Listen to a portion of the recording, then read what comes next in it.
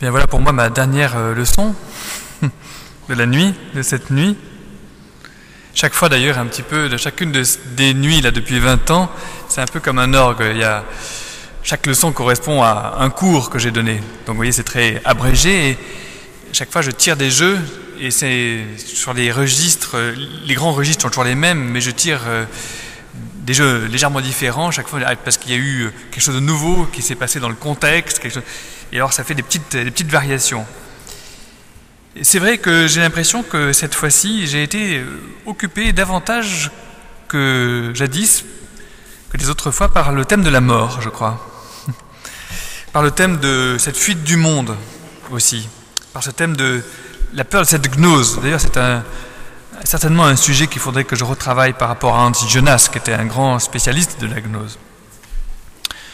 Je crois que nous avons un problème avec la mort parce que justement, nous sommes dans un monde où nous avons fait collectivement beaucoup d'enfants.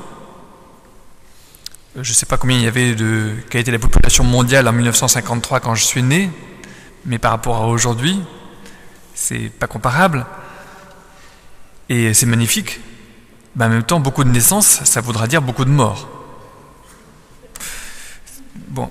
Et je me dis que certaines de ces morts vont être brutales pour des raisons diverses.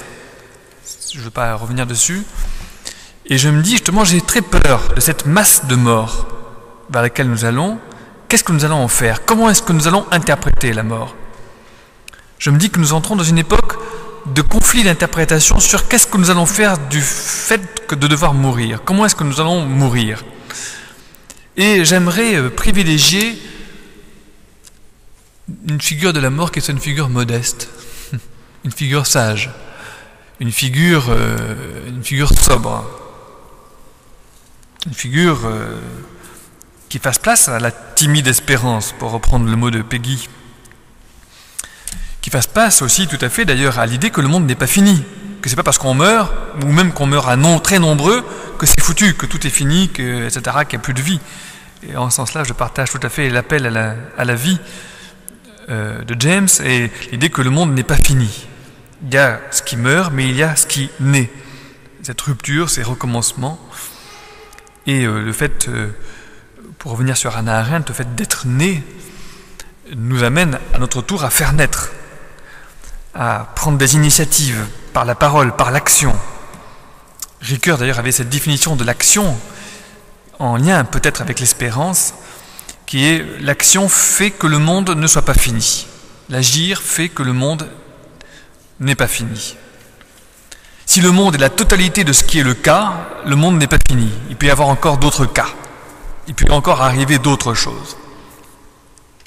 Mais ça suppose peut-être de penser ce que j'appelais la timide espérance, justement, comme une figure de la limite, et non pas comme une figure de l'au-delà. C'était cela que je voulais dire, et que sans doute Calvin avait en tête en ne commentant pas l'Apocalypse. Euh, Calvin est contemporain de Nostradamus pratiquement. Il faut imaginer que c'est une époque très apocalyptique et dans laquelle l'Apocalypse servait aussi à avoir une sorte de, justement de, on sort de ce monde, on va ailleurs. Et euh, je voudrais penser, interpréter l'espérance plutôt comme une figure d'une conversion, non pas à un au-delà, mais une conversion à l'en-deçà. Une conversion justement, comme je reprends mon, mot, qui redescend, qui revient. C'est Moïse qui redescend de la montagne, ou euh, qui touche une limite et qui, revient, qui, n'atteint pas la terre promise. Ou c'est Orphée qui revient des, des, enfers et qui revient la deuxième fois sans Eurydice. Il me semble justement que c'est le travail du pardon je vais en dire quelques mots quand même. J'avais failli l'écarter complètement, alors que le pardon était jadis une des figures centrales, ou plutôt finales, euh, de ma nuit. Là, j'ai parlé de la sagesse, j'ai même parlé de la modestie. La modestie n'est peut-être pas si importante que le pardon, ou que l'espérance. Enfin, la modestie, c'est quelque chose d'important, je crois. Oui, le pardon, quand même. Le pardon, il me semble que l'intérêt dans le pardon, c'est qu'il explore les limites de l'action, justement. Il y a des choses dans lesquelles l'action nous échappe. Il y a des limites de l'action. Et euh, en même temps, euh, l'action, une fois échappée, euh, engendre un cycle de représailles. et donc une sorte d'enflure, d'enflement. Et justement, le pardon arrête cette espèce d'enflure, ce cycle infini des représailles. Et, de, et, je dirais, le pardon nous aide à revenir au monde ordinaire. Moi, je n'ai pas du tout une conception sublime du pardon, comme quelque chose qui serait déjà un signe de l'au-delà, d'un amour, euh, euh, d'un, d'un, euh, justement, d'un, don qui serait encore une sorte de, de plus. De, j'ai plutôt une figure du pardon comme un abandon, comme une perte, comme l'acceptation d'une perte. Il n'y a, pas que, du don, il y a de la perte, je disais au début de, de cette nuit. Alors le travail du pardon, oui, il y a un travail encore du pardon, encore du mot travail. Travail du deuil, faire le deuil de l'irréparable, travail de l'enfantement, préparer l'enfantement, et je penserai les deux ensemble. Là encore, je suis proche de ce que vient de dire James. C'est-à-dire qu'en même temps, il faut faire le deuil de l'irréparable, et il faut préparer l'enfantement.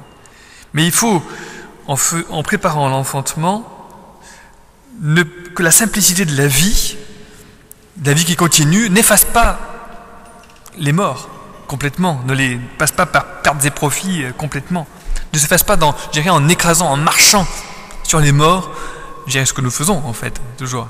Ne le fasse pas sans un mot de sépulture, sans un mot qui dit, qui rappelle, qui rappelle les morts. Et d'autre côté, il ne faut pas que la dette envers les morts ne bouche, n'occupe la place aux enfants à naître.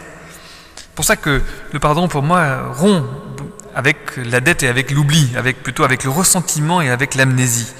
L'amnésie, c'est justement, euh, on fait des bébés et ça occupe et on oublie tout le reste, si je peux dire. C'est le bulldozer.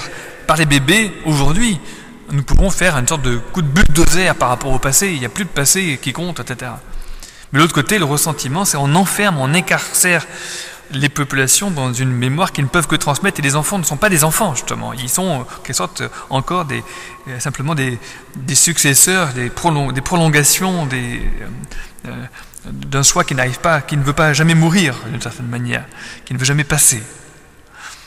Donc voilà, il me faut, je pense, en même temps, cette double rupture avec l'amnésie, avec le ressentiment, pour faire le deuil de l'irréparable, mais aussi pour rendre au présent, pour rendre le passé au présent, ou d'une certaine manière pour tirer du passé euh, un autre avenir. On peut tirer, le pardon permet de tirer du passé une autre ligne d'avenir. Alors maintenant, euh, gérer le pardon nous, nous, ramène au présent, à maintenant, à ce matin, à ici. Hein?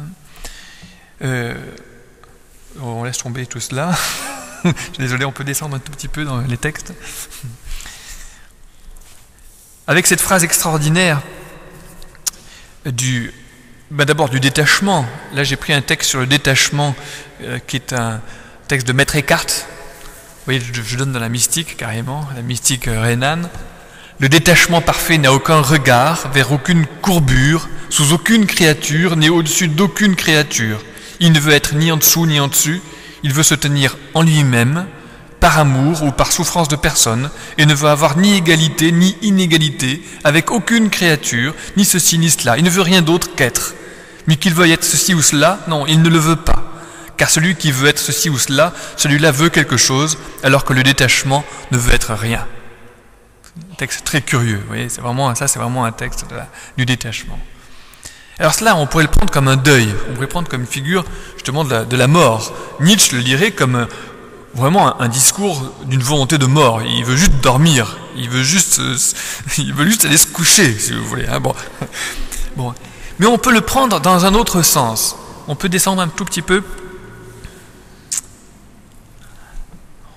Oui, non, remonter euh, euh, un tout petit peu là, voilà. Alors, on peut le prendre dans un sens dans lequel, au contraire, c'est le matin, être ici est une splendeur.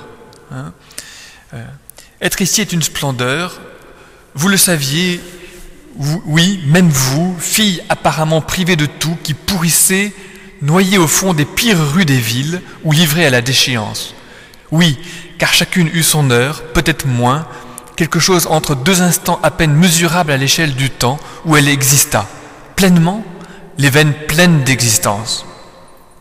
Donc le fait qu'il y, y ait eu une existence, que chaque que chaque existence soit parue à la face du monde, fait quelque chose, je dirais, d'inoubliable, fait une splendeur, fait du monde une splendeur, fait du fait d'être ici est une splendeur.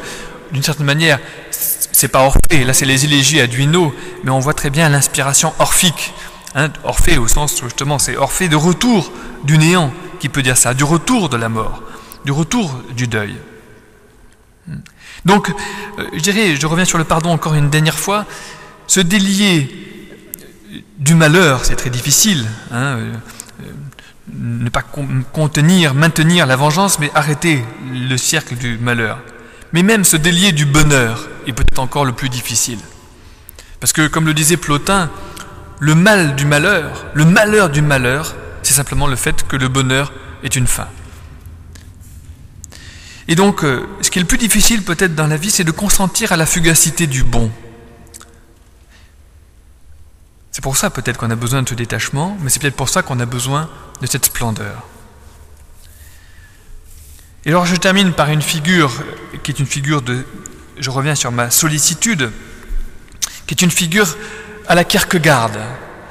Kierkegaard écrit Il est magnifique d'être vêtu comme le lys, il est encore plus glorieux d'être le souverain debout, mais la gloire suprême est de n'être rien en adorant. Donc vous voyez que Kierkegaard est très proche de Maître Eckhart ici très proche. Adorer n'est pas dominer, cependant, c'est par l'adoration que l'homme ressemble à Dieu, et la faculté d'adorer en vérité hein, constitue l'avantage de la gloire invisible sur toute la création. L'image de Dieu, c'est la faculté d'adorer, la faculté d'admirer quelque chose dont on n'a pas d'image. Une autre manière d'interpréter cette euh, sollicitude qui arrête toute comparaison, qui qui est dans l'effacement de soi, euh, ce serait Schopenhauer. Schopenhauer a fait euh, dans tout son, son, livre de métaphysique, il a fait quelque chose de magnifique sur euh, la compassion, en disant que finalement, au fond, le cœur de la morale, c'était la bonté, et le cœur de la bonté, il le voit en interprétant des pietas, hein, c'est justement la pietà, c'est la, la, tendresse, c'est-à-dire la compassion pour les êtres. En fait, nous sommes, nous sommes chacun nous sommes tous le même, d'une certaine manière. Nous sentons ce, que sent l'autre, c'est ce que je sens moi aussi. Hein. Donc, on pourrait dire que cette, sollicitude, cette abnégation, parce que c'est une forme d'abnégation chez Schopenhauer, une espèce de dévouement, est une forme de lucidité, hein, d'extrême lucidité. Justement, l'individu qui essaye de se défendre, de s'immuniser quelque part, il s'illusionne encore lui-même. Peut-être que, en effet, cette espèce d'identité en tous les êtres de la même, du même désir d'être et peut-être une forme de lucidité. Et euh, peut-être une dernière figure que je veux citer, c'est celle d'Emerson. Emerson, c'est le philosophe de la confiance en soi, c'est le philosophe de l'affirmation, celui qui a eu une telle influence sur Nietzsche, justement, puisque Nietzsche le prenait pour son éducateur en même temps que Schopenhauer. Et pourtant, Emerson écrivait Quiconque a plus de docilité que moi me domine, ne lèverait-il même pas le petit doigt Je dois graviter autour de lui par la force de révolution des esprits.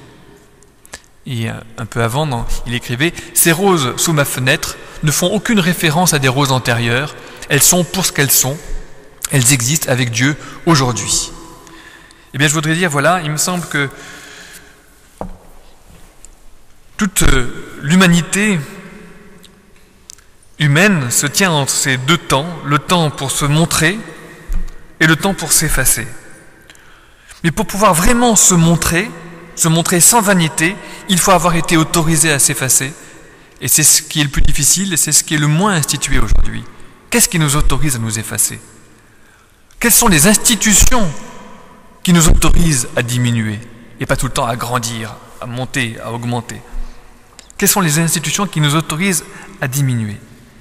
Mais d'autre côté, pour pouvoir vraiment s'effacer, sans honte, se montrer sans vanité, mais s'effacer sans honte, sans humiliation, il faut avoir été autorisé à se montrer. Il faut avoir pu se montrer.